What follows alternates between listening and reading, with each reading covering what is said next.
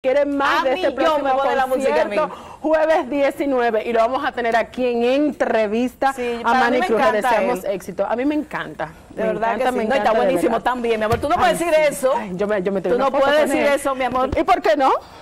Yo soy una no, pero yo puedo admirar la, la, la creación de Dios. Eso no tiene nada que ver. Una cosa no tiene que ver con la otra. Él admira creaciones también. tipa, ¿eh? Él admira Mira, creaciones también. Está buenísimo. Claro, pero buenísimo.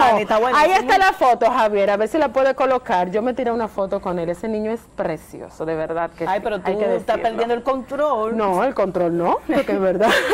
Entonces seguimos. Señores, este próximo jueves se va a estrenar en los cines de República Dominicana la película Cómplices. ¿Con Esta es película, esta película estuvo el mes pasado en febrero. Fue la segunda película más taquillera en México, con más de un millón de espectadores. Esta película ¿Quién- quién está... esa? Si la distribuye Lántica Media, es la empresa productora. Aquí se va a estar distribuyendo a través de Caribbean Cinema. Es una película en la cual tiene actrices tanto mexicanos como está Fausto Mata? dominicanos. No, no está Fausto Mata. Esa no es- No está Fausto Mata no porque hay una que está No. Fausto, que hay unos mexicanos. Es, lo que pasa es no colombianos. Unos Esa colombianos, se estrena sí. en mayo. En mayo. Esa se estrena en mayo, que va a estar que Carmen Villalobos, William Levy y va a estar también Fausto Mata, entre otros elencos aquí en República Dominicana.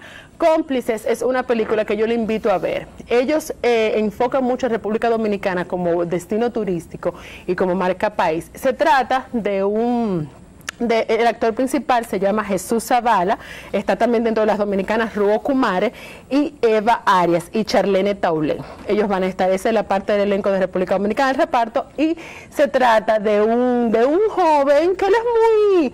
Él es muy chispeante, le gusta mucho las mujeres y buscarse las mujeres y eso. La trama es una comedia dramática, pero de verdad tiene un guion espectacular. La película técnicamente no es nada del otro mundo, pero la historia, la trama te mantiene en suspenso, en intriga, tú te ríes. Y ahí es que yo voy cada vez que nosotros hablamos de lo que se necesita en el cine dominicano, buenos guiones.